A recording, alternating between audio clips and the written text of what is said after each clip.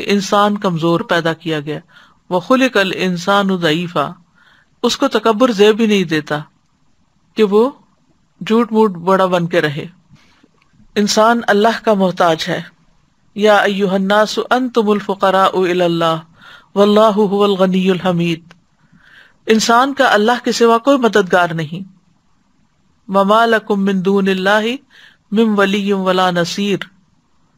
تمہارے لیے اللہ کے سوا نہ کوئی دوست ہے، نہ کوئی مددگار۔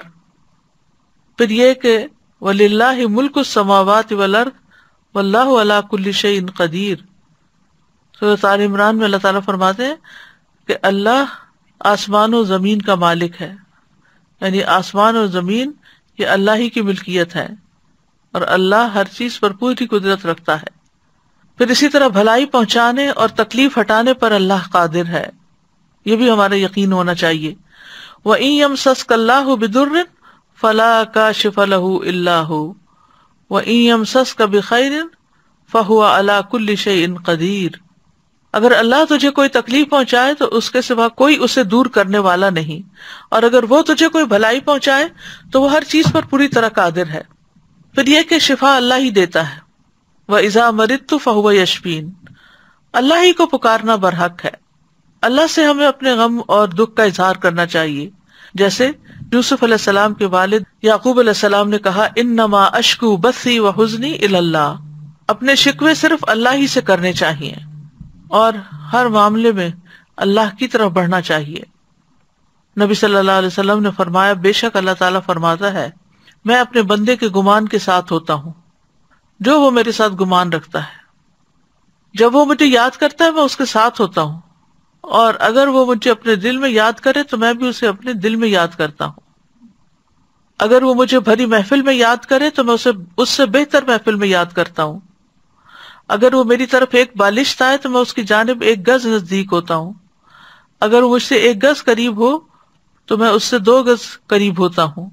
اگر وہ میری طرف چلتا ہوا آئے تو میں دوڑتا ہوا اس کے پاس جاتا ہوں۔ یعنی اس کا مطلب کیا ہے؟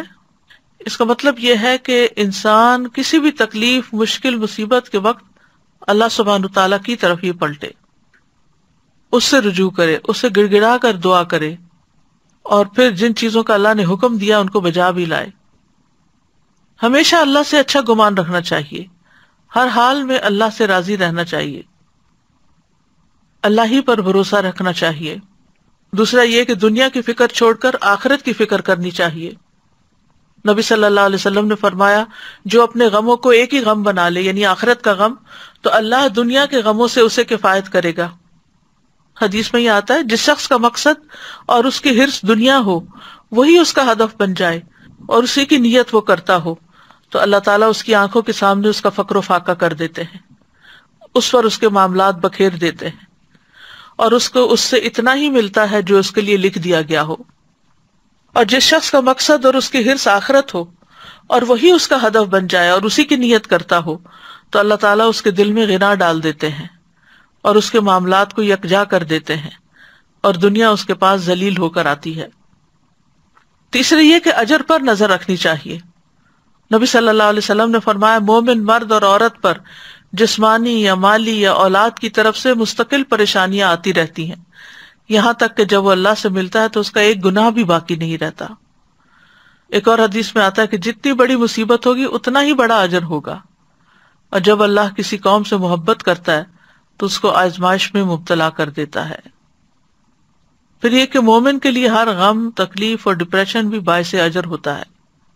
نبی صلی اللہ علیہ وسلم نے فرمایا، کسی مومن آدمی کے پاس جب کوئی تکلیف یا ایزا، بیماری یا رنج یہاں تک کہ اگر اسے کوئی فکر ہی ہو تو اس سے اس کے گناہوں کا کفارا کر دیا جاتا ہے۔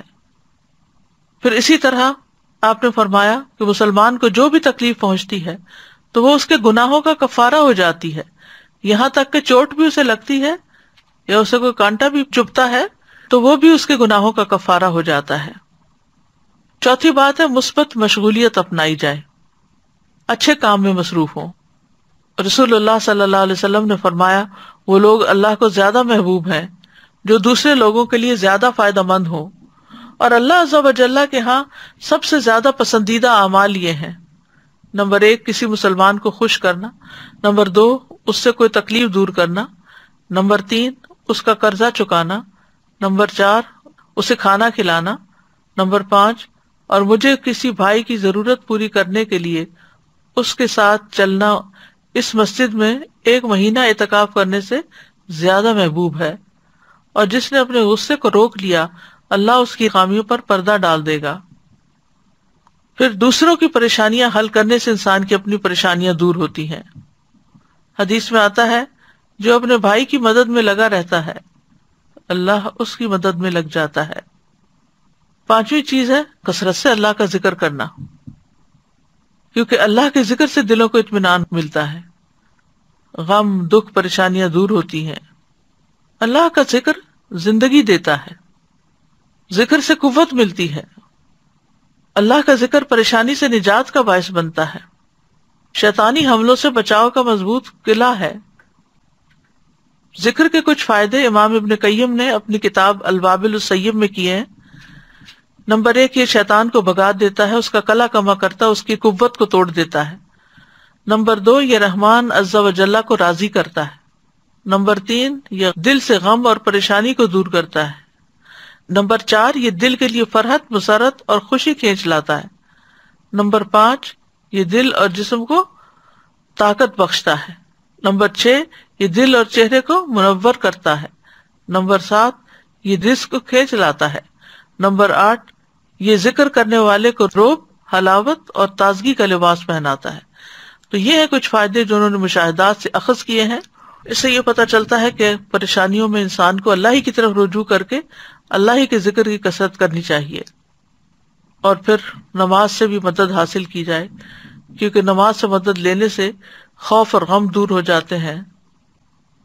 نماز اللہ سبحان تعالیٰ کے قریب ہونے کا بہترین ذریعہ ہے۔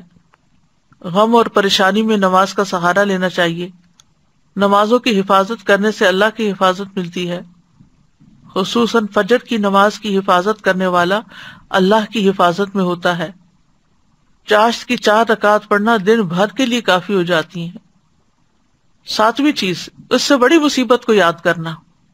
یعنی جب کوئی مصیبت آئے تو سوچے کہ اس سے بڑی بھی آ سکتی تھی، تو دل میں شکر پیدا ہوگا۔ اور جو شکر ادا کرتا ہے، اللہ تعالیٰ اس کی نعمت کو محفوظ رکھتے ہیں اور اس کو اس سے بھی بہتر عطا کرتے ہیں۔ پھر یہ کہ اپنے سے نیچے والوں کو دیکھا جائے۔ امبیا کی آزمائشوں تکلیفوں کے بارے میں جانا جائے تاکہ ہمیں اپنی تکلیفیں بہت بڑی نہ لگے